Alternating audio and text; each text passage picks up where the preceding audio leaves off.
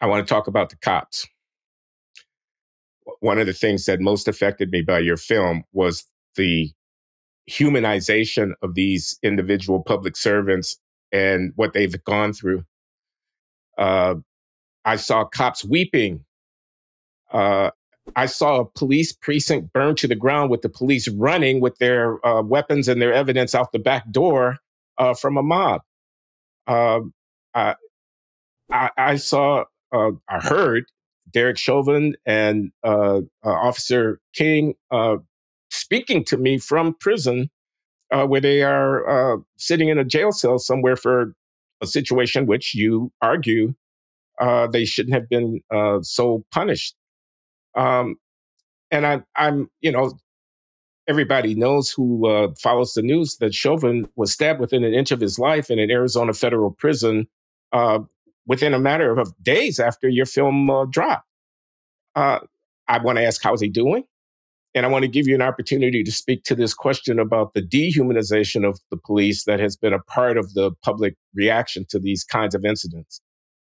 Liz, I'll, I'll let you speak longer about that. But one thing I did want to point out, Glenn and John, I actually received an email from Derek that day. So he and I have since become friends. I have asked him questions that folks like Ellison and others have never asked him. Did you intend to kill George Floyd? Like, your mens rea. What were you thinking of killing him? And I also posed the same questions to Alex. And Derek, in his own way, said, I'm not that creative. if I was going to commit a murder, it would be much more elaborate. I'm not that kind of creative guy and never had any intention of it. Oh. Back to the humanization, I'll let Liz speak to that. Very, very quickly. Liz, this is short. A lot of people are going to say, well, of course he didn't mean to kill him. And so, yes, nobody, nobody is going to try to kill somebody in the street really for any reason usually and not not even despite what many people think an officer especially one who had no reason to fear for his life but my impression is that chauvin didn't know how much he was hurting floyd that he he he wasn't trying to to disable him to the point of being afraid for his life that he didn't know that he was doing something brutal that's my in, impression but i'm just saying anyway liz go ahead Back to the, the police officer question, that was really uh, a reason we wanted to do this as well. It seemed nobody cared about the the stories of uh, the, these people basically running for their lives as they're forced to surrender their workplace uh, to the mob in, in Minneapolis.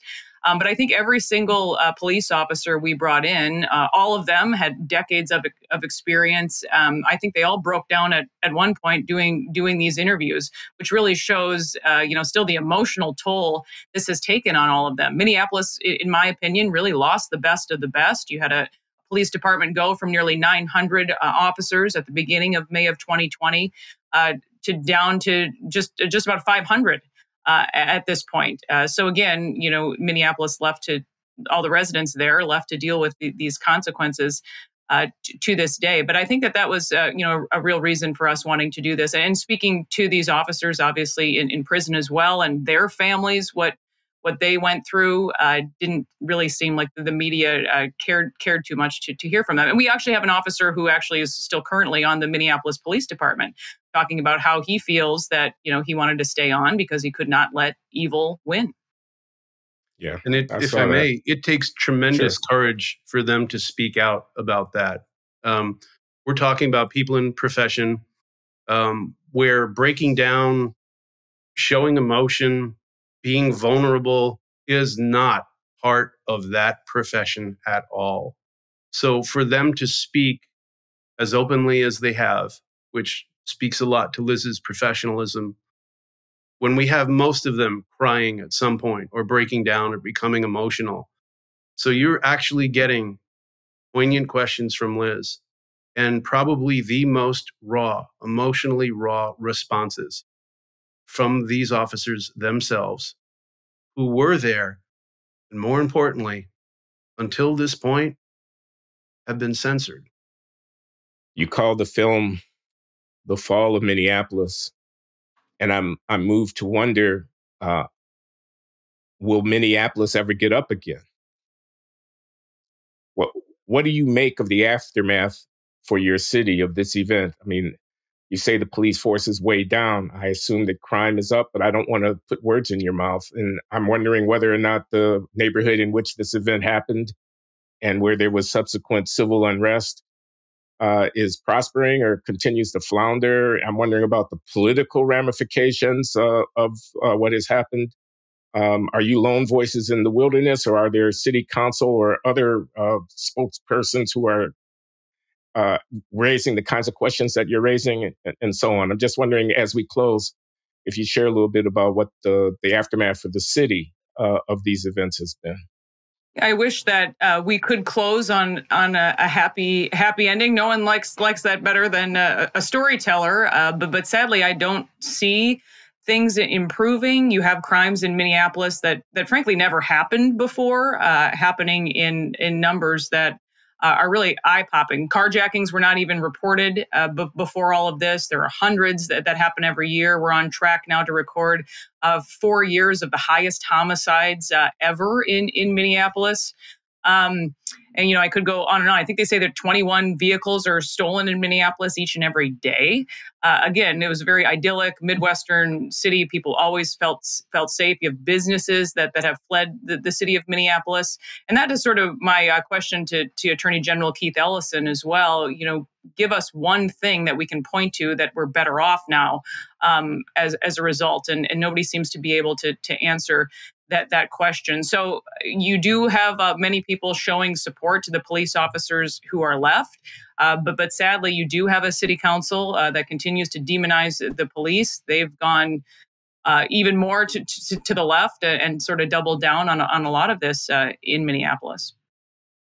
And if I can add to that as a police officer, if you really care about what you're doing as a public servant, you work so that let's just say the the elderly couple who still have the bars on the window your job's not done until they feel safe enough to spend one of their few checks probably on limited income to pay someone a handyman or whoever to take those bars off. That's when you know you've won you've done a good job they feel safe again. But when you surrender a police precinct the message that sends to those citizens the vulnerability that that gives them. It takes away their hope, takes away their sense of being protected. When you put that vulnerability on them, this is not something that's going to be fixed in my lifetime. And I'm not trying to be, you know, uh, dramatic about that. It's going to take a lot of cycles of mayors and people wanting to do the right thing to recover from that, as Liz pointed out. And when you have crimes that were never tracked before, that suddenly take off and quite frankly explode statistically speaking that is a sign that portends things aren't going in the right direction anytime soon. Mayor Fry, i uh, understand said we surrendered the precinct because these are my words but this is the sentiment. It would have been a bloodbath if we had fought to defend it against that mob and that was not going to happen on my watch. What's your answer to that you know, I think that speaking to these officers, they're very clear that it didn't even have to get to that point. This had been going on for several days by the, the time this sort of standoff happens at the, at the third precinct. This was unlike any riot response uh, they say that they'd ever been through b- before. They for days were told, that, you know, you can't wear your your riot gear, uh, you can't use, um, you know, any any sort of you know force. Before they would round up people uh, during riots and they would arrest them. That was not that was not happening uh, in this in this case. So it simply did not have to go that far according to these officers uh, that we spoke to. I was going to also go back to your question about that area, 38th and Chicago. It's interesting that several businesses that are that are located there at 38th and Chicago now 3 years later have filed a lawsuit against the city of Minneapolis for a lack of police protection. Uh, so kind of in the category of you almost can't even make this uh, this up anymore at, at, this point. They're upset uh, with their lack of, of police protection and the and the crime that that continues at that in that area, 38th in, in Chicago. Twenty-seven million dollars to George Floyd's family as a settlement from the city. Uh, you mentioned that uh, Derek Chauvin had employed the MRT in previous arrest scenarios. Am I mistaken, or did I not read that uh, they've gone back to file suits on behalf of people who were restrained with the MRT by the notorious Derek Chauvin. And those people have gotten multi million dollar settlements from the city.